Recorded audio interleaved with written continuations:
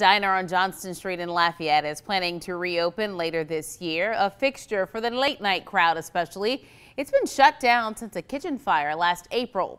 And as Katie Easter shows us, some can't wait for the return of the late nights under the neon lights. For Tanner and Ashley Young, Mel's Diner means more than pancakes and coffee at 3 a.m.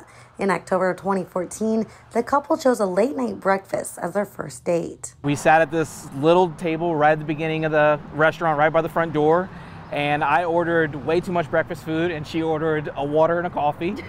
and then we just kept talking about our day, asking just stupid, silly questions. The rest is history.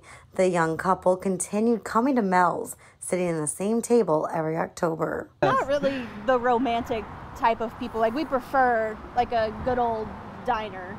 That tradition continued after they tied the knot in 2018. It was nice and special, and like she said, we got to dress nice and casual in sweatpants and things like that. And best way to celebrate an anniversary is in sweatpants. The fire prevented them from celebrating two anniversaries, but they look forward to sharing new memories with their son. I was really sad because I was excited to take Jules to the like first spot where we had both kind of knew that we'd found our partner, and I was just excited to keep that family tradition alive with our third person.